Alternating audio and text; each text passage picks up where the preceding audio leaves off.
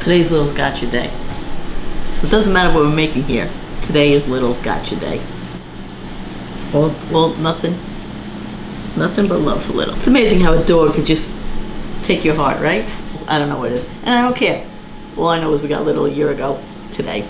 Anyway, today we're gonna do some sheet pan vegetables. Super easy, super good, and super healthy.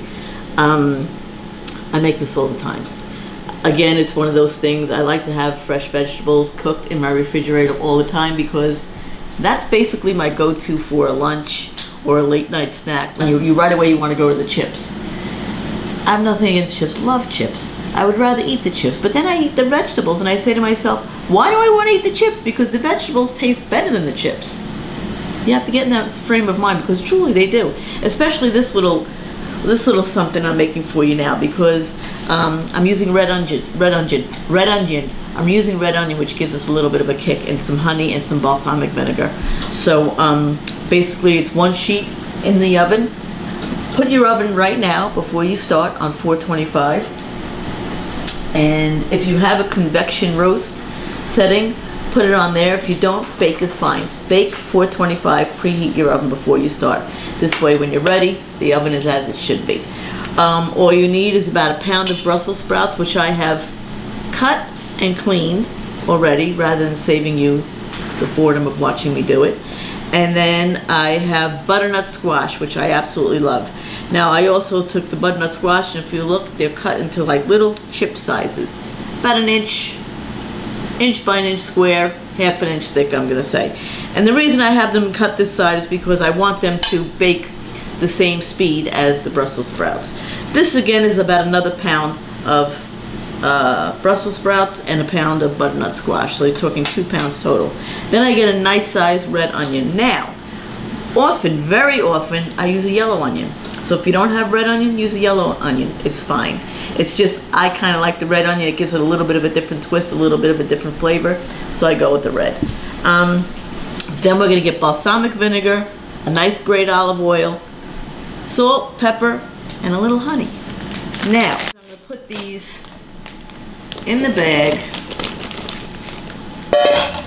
because ultimately I'm gonna put everything in this bag and I'm gonna put it in the refrigerator and let it marinate for a couple of hours. Then I'm just gonna get my red onion. I'm just gonna slice it nice, not cubes, but nice, nice slices like that because you want the bigger chunks because they're tasty. All right? So you just get your red onion, you slice it like that.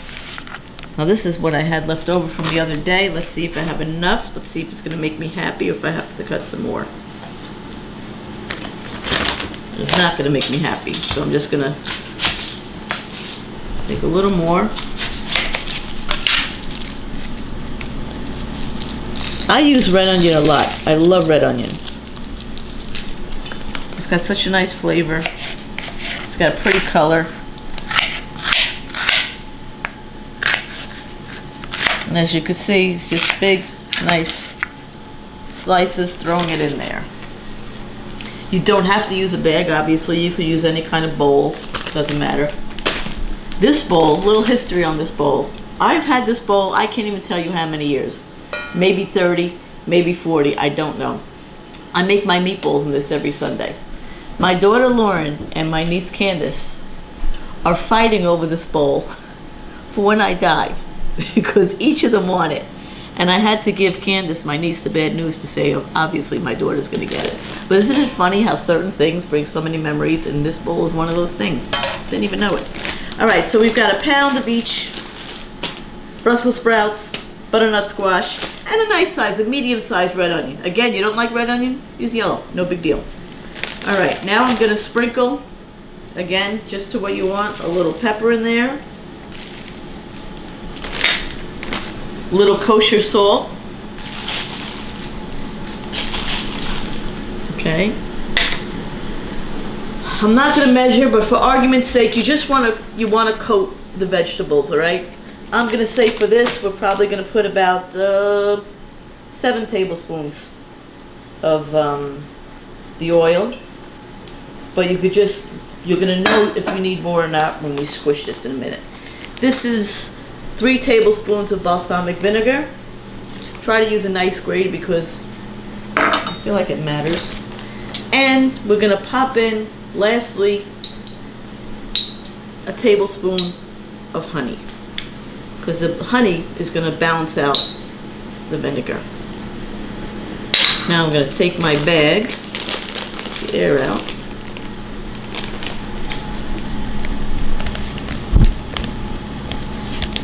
I'm gonna seal it tightly, although this won't seal. Why won't you seal? And then I'm gonna mush it all up. Mush it all up, mush it all up. My bag won't seal.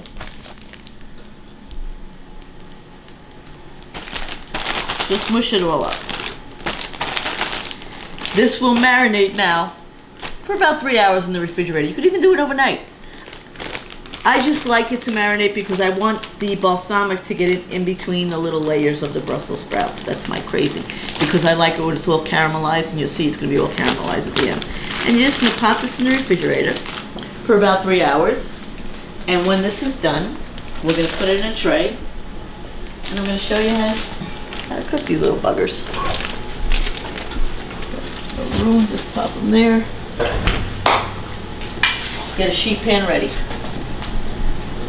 It's been about three hours. This has been marinating.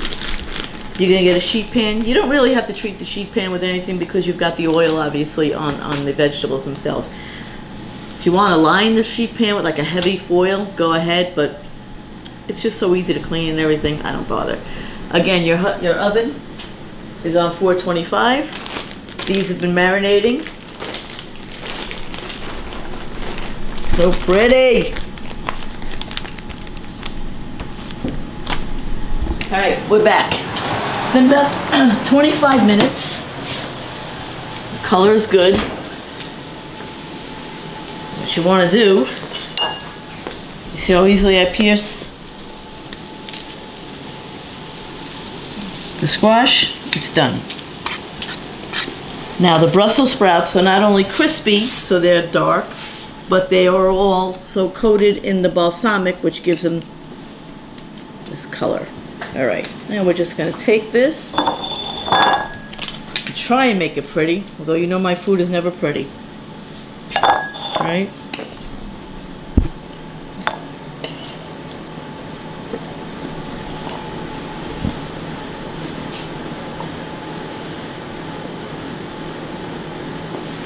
I don't know, I love this dish. You could do it with so many different things. You could even, after a couple of days, if you could throw this into pasta. You could get a little chicken broth and make a nice little pasta out of it. But it's great with anything. It's great with burgers. It's great with any kind of protein you could think of. Or all by itself. It's yummy. And delicious. Let me taste it. But don't burn my face off.